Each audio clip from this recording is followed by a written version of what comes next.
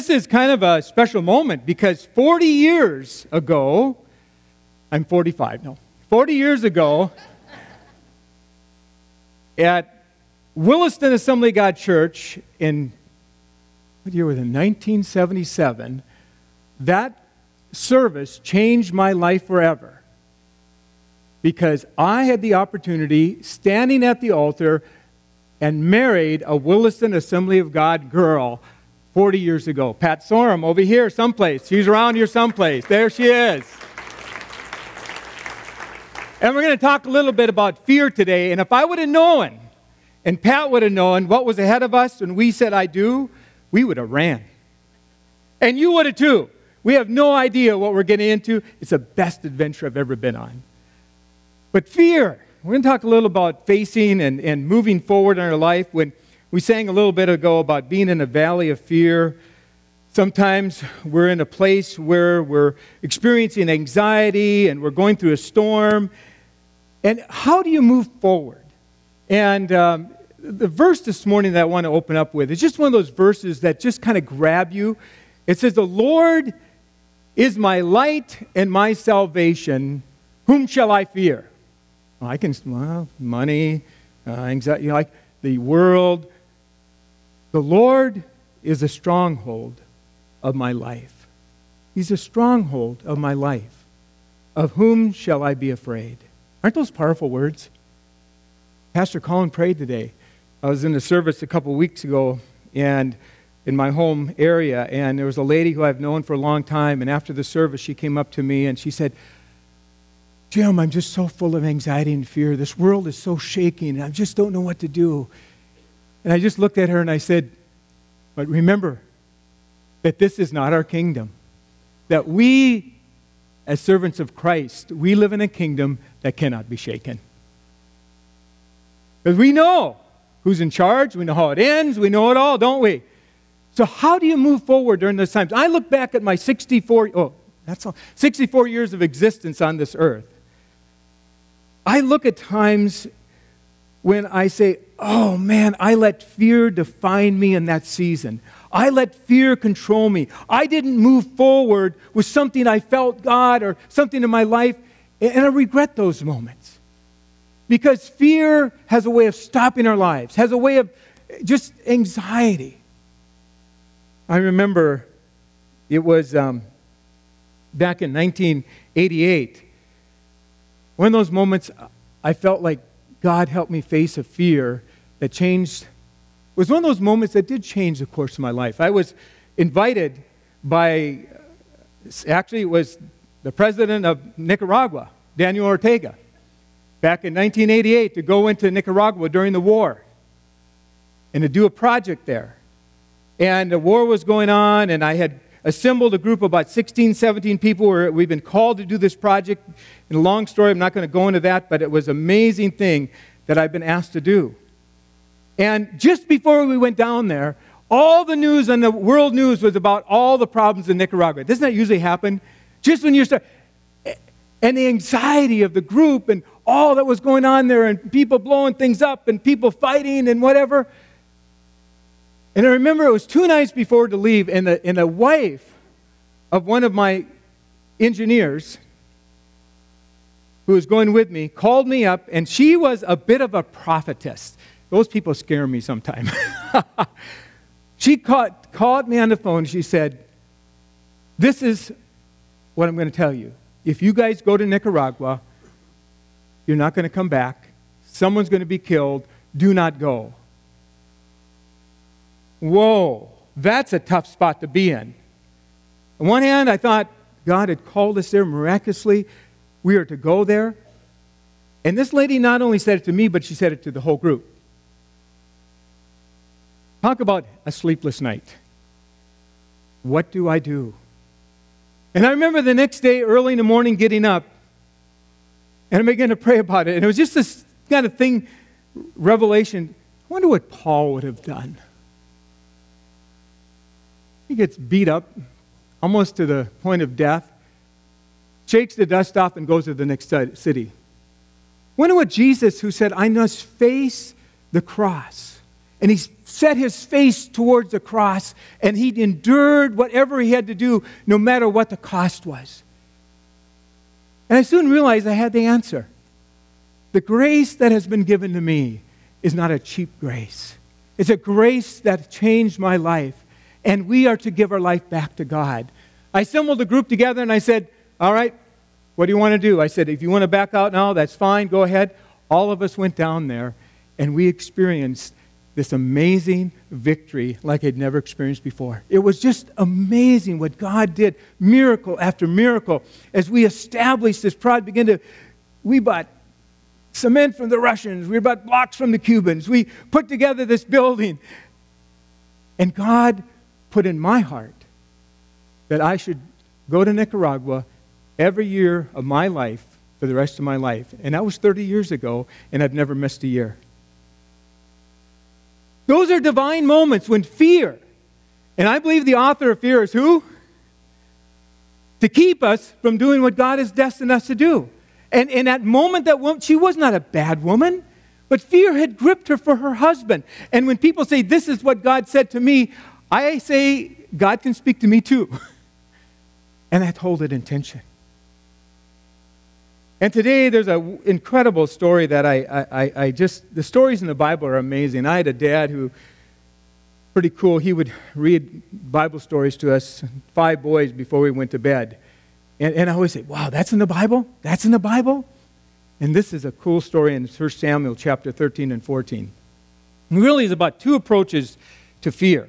Now, the situation is the Philistines were people who were harassing the Israelites all the time. They were just always harassing. And they'd kind of subdued them and they were under their thumb and they were under their control. And one of the things they did so they wouldn't result, revolt, they said, We will take all the blacksmith and we remove them. And, and if you have to have your plows sharpened, your sickle sharpened, your whatever sharpened, you have to go to the Philistines because they didn't want anybody making any weapons. And so Samuel came to Saul and said, this is ridiculous. You guys have not listened to me. God is a victor. You guys are living in this terrible time in your life, and I've given you the victory. Now, I'm telling you today, if you go against him, you're going to win a victory. Okay, this is where it gets really interesting. And so, if you look in, on the board, 1 Samuel 13 22, so on the day of the battle, not a soldier with Saul and Jonathan had a sword or a spear in his hand. Only Saul and his son Jonathan had one. Now, how many think you like those odds? How many like to be in that army?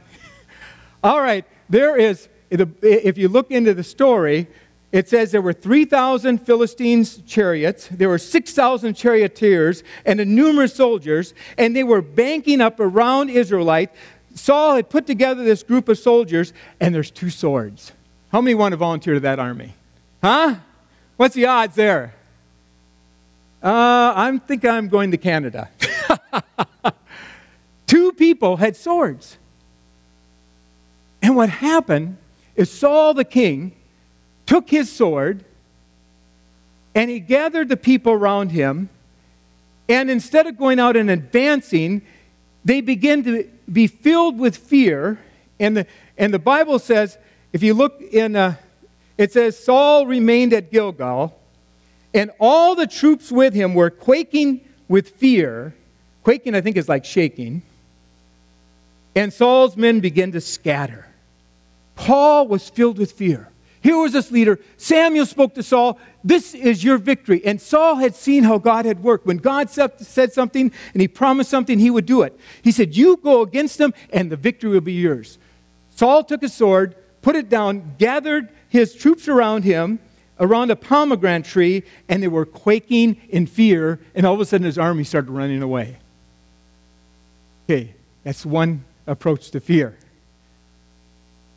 Jonathan this incredible young man, the son of Saul, he had heard Samuel's words. If you go against the Philistines, I will be with you and you will have victory. So Jonathan pulled out his sword. In the verse in 1 Samuel 14 6, Jonathan said to his armor bearer, Come, let's go over to the outpost of those uncircumcised fellows, and perhaps the Lord will act in our behalf. Nothing can hinder the Lord from saving, whether by many or by few. Here's John. Why are you sitting around? He took his sword up and said, I'm going to go pick a fight today. I'm going to go against those Philistines today. And the crazy part of it, his armor bearer who had carried his armor said, ah, I'll go with you. How many of you would have done that? I'm glad you didn't raise your hand because I wouldn't have done it.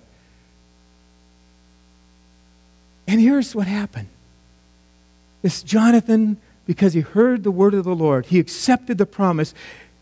Is there fear there? If there was, he believed that the faith in this Almighty God would, would, would, would be there in that moment.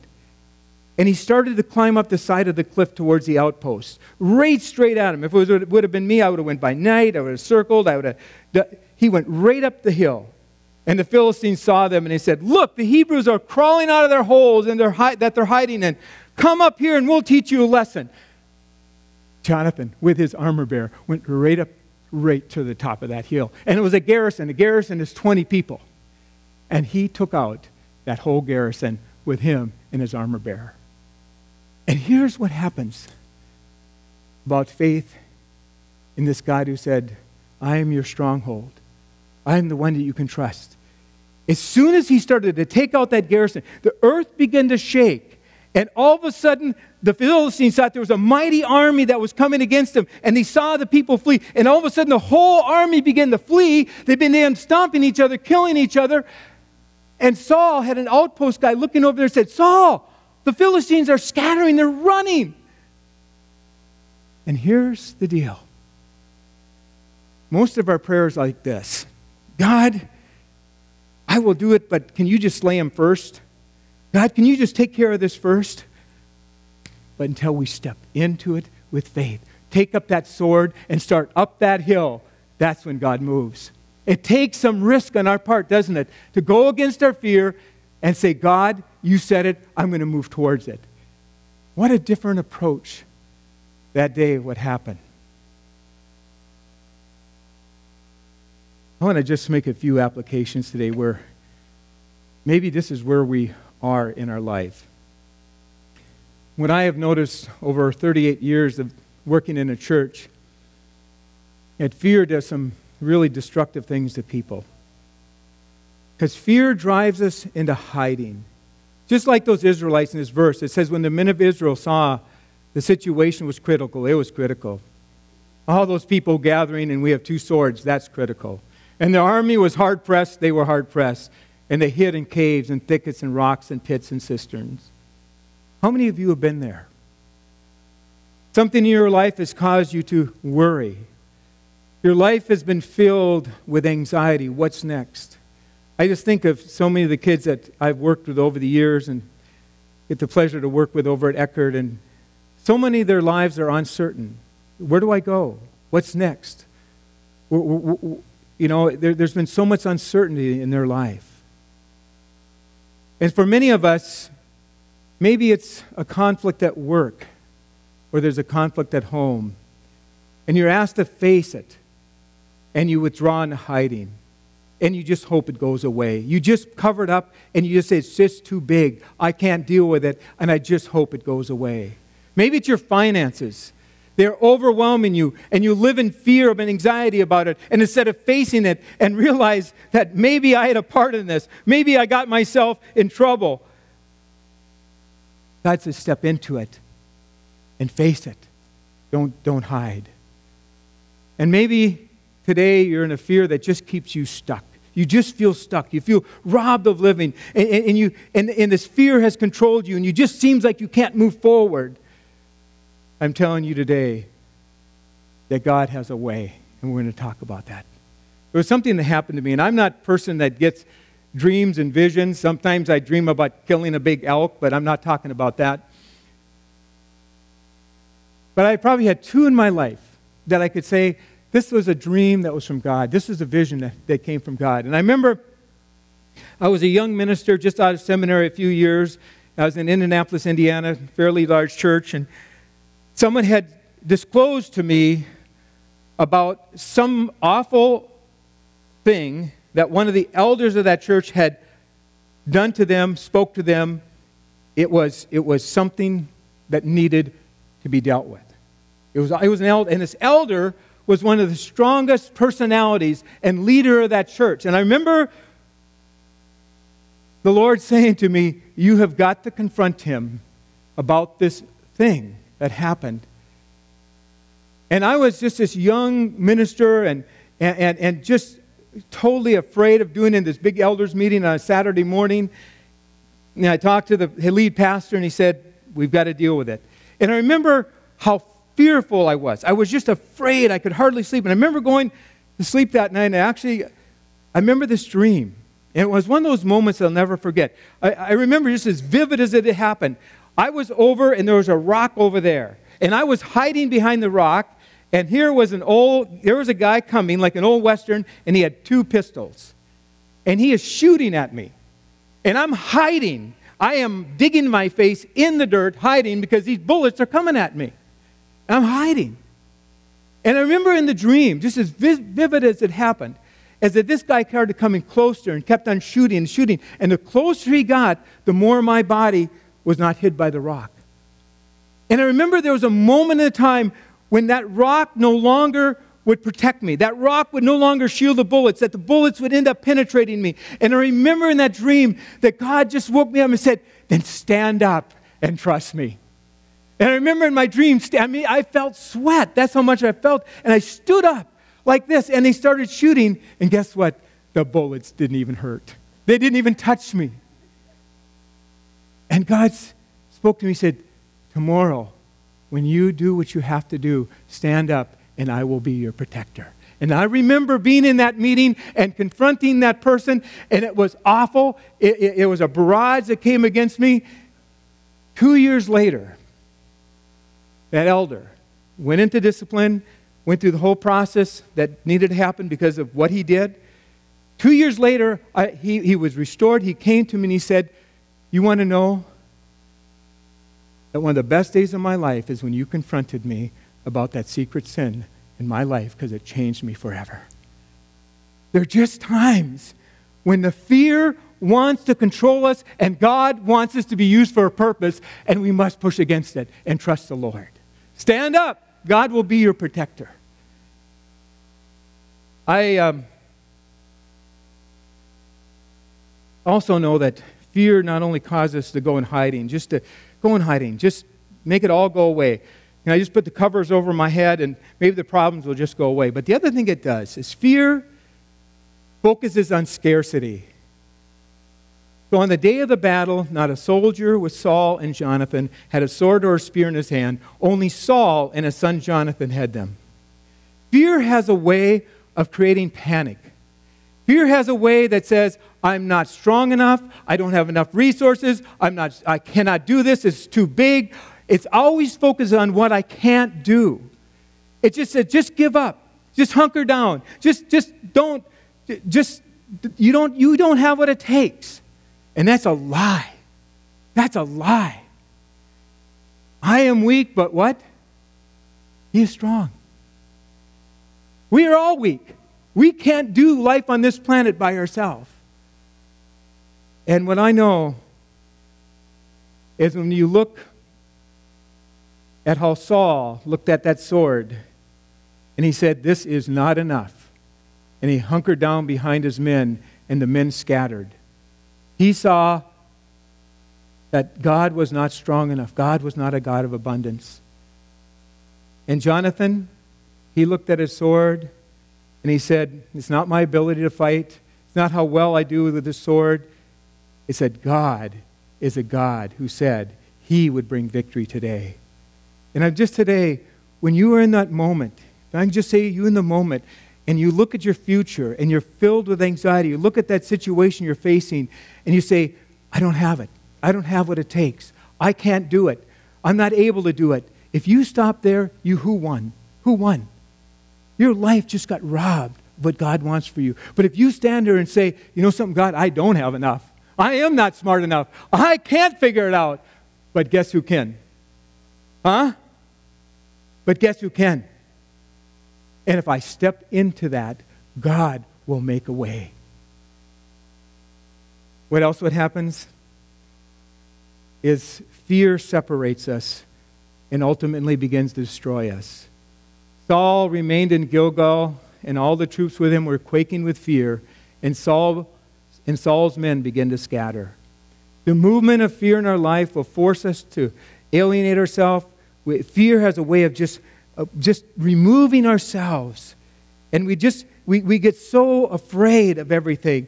And, and, and then what, what it does when it separates you, you try to control your little world. Because if I can control my little world, then I feel peace at it. And I just feel people, they get shrink down. It, it, it, it just separates you to the point where you try to control this little world. And if you control this little world, maybe nobody will affect it. And what happens, that world gets smaller and smaller and smaller. Fear separates us. And, and, and it ultimately will destroy us. But here, is the encouraging word today, and I end with these things right here. Is how do I face forward? How do I move forward like Jonathan? How do I look at that and say the odds are against me? I should be quaking with fear. I should be trembling, but somehow I am going to face forward. I'm going to go up that mountain. What does it take? The first thing it takes is to see what I love. Many names of God, but one of my favorite names of God is God is the waymaker.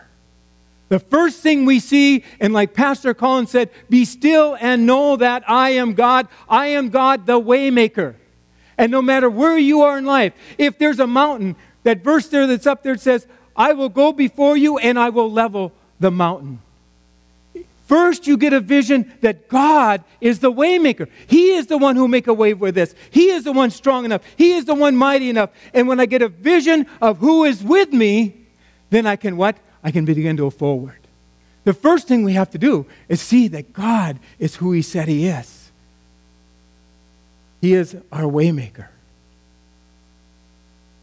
Jonathan, again, refused to accept that defeat was the answer.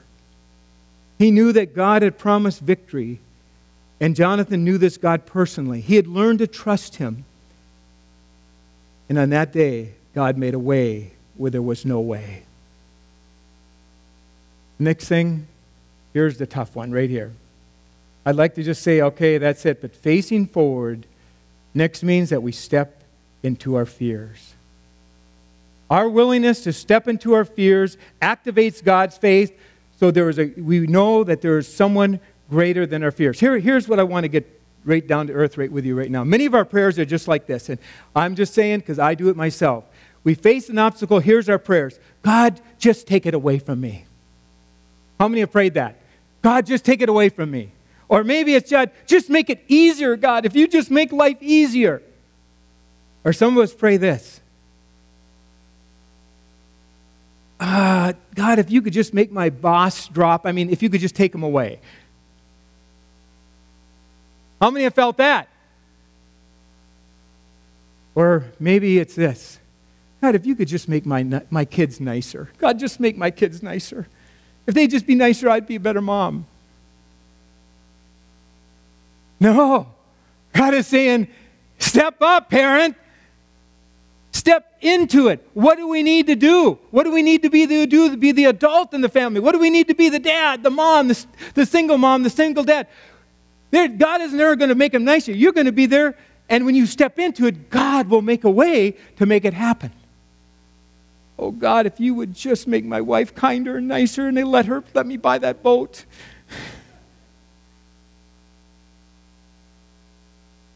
God's saying, Tell you what I'm going to do. Step into what you need to do to become a better husband. And guess what? The result will be your wife will be better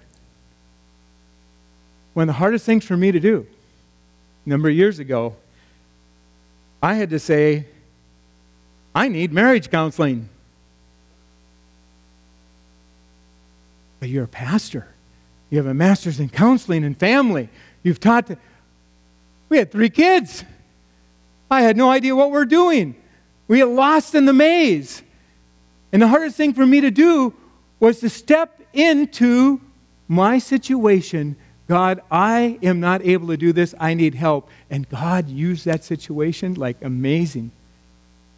Stepping in to your fear, stepping into your situation is what God wants us to do. Jonathan said to his young armor bearer, Let's go out to the outpost of those uncircumcised fellows. Now, this is what's amazing to me. What was his next words? And perhaps the Lord will help. How many say that's a real strong statement of faith? And perhaps the Lord will help. I'm just telling you today, and being in ministry for many years, people have always said, Are you confident about this project? Have you heard from God 100%? And I'll look at them and said, Maybe 50% at the most, maybe 60. Where would faith be if it's all settled? You know, you got, okay, I'm going to start this project and I won't start it unless I have 20 million. There's no faith involved in that. Faith is realizing that you may be 51% and we're going to move forward. A grain of mustard seed is enough with God to move forward. So he's sitting around, and God said, You step forward, and I will activate. I will make a way. If you don't step forward, guess what? My hands are tied. Because faith is stepping in. And God will step forward when you step forward. That's part of what it is to move into your fears. Lastly, facing forward, the only way we can do it is together. I, I just think this is one of the most amazing thing here. Is, do all that you have in mind, his armor bearer said. Go ahead. I'm with you, heart and soul. I'm thinking, this guy's nuts. This guy's nuts. He's going against one sword, against a garrison of trained Philistine soldiers. Behind them are 6,000. And this armor bearer says, I'm with you, Jonathan. I'm with you. And those words are so powerful when you face fears in your life and anxieties. I am with you. I'm going to walk through it with you. Sometimes my faith isn't enough, but I borrow, I lend from your faith because you have faith that God is enough, and sometimes I need that. That's why when we hit anxiety, anxiety and fears and we struggle, we don't alienate from church. We don't separate ourselves. We don't go there and just cover up. Oh, it, God, nobody. You come together. Where two or three gather in my name, I am where? I am in the midst. If you're facing fears right now, it can just destroy your life. It can stop you. It can, it can rob you of your destiny. If fear and anxiety control you. And, I, and, and today, God wants you to see that I'm a waymaker. I can make a way where there is no way.